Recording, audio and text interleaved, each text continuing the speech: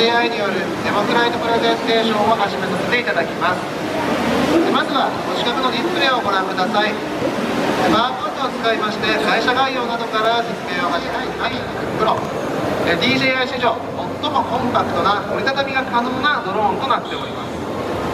折りたたんだ時のサイズは500のペットボトルとほぼ同等。普段お持ちのカバンに入れて好きなところどこへでも持っていくことができます。またコンパクトサイズでありながら 4K 動画の撮影また1200万画素での写真撮影が可能な本格的な空撮用ドローンです。続きまして離陸したのがファントム4プロ。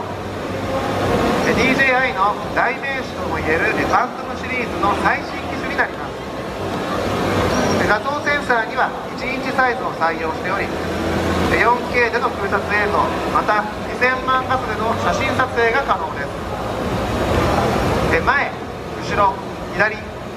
そして下合計5方向に障害物検知システムを搭載しており安全なフライトを可能としています。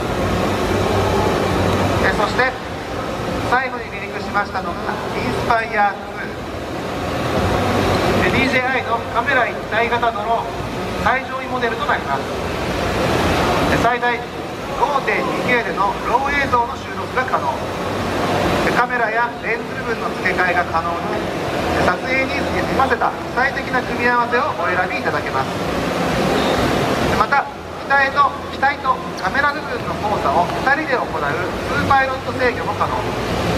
プロユーザー向けの商品となっております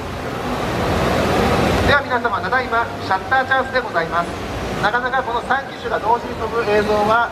まずありません。ぜひ撮影してシェアをしてみてください。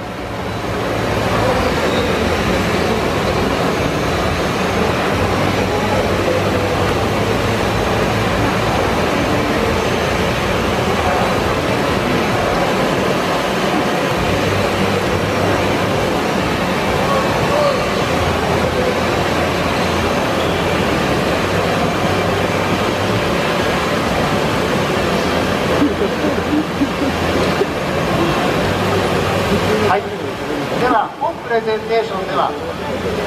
バントム4プロに注目して説明をしていきたいと思います中村パイロットよろしくお願いいたします